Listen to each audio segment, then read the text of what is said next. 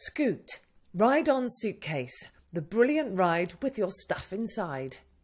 In this video, we have put together some straightforward tips so you can get your little one on the road in no time. You can follow along with the instructions provided, also available on our website.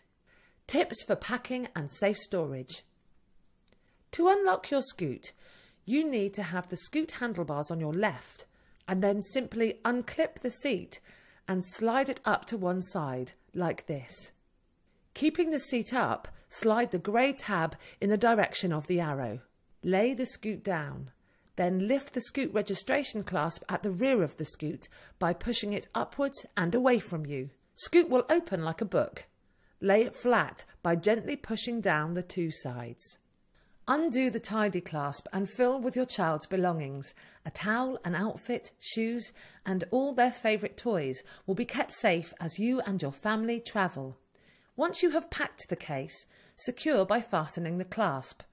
Bring the empty half of Skoot together to meet the other side. Close by lowering the Skoot registration plate on the rear to secure the case. Close the grey slide clasp by pushing it in opposite direction of the arrow. Lower and slide the seat into final locked position.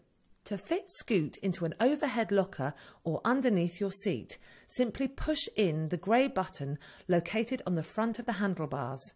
Keep one hand on the Skoot to steady as you use your other hand to twist the handlebars around until they are free and then lift the handlebars vertically to remove.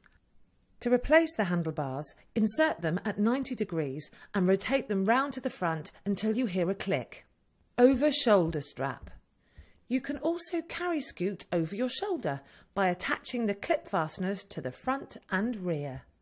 So now the driving lesson is all done. Time to ride on and roll out. Full scoot ahead.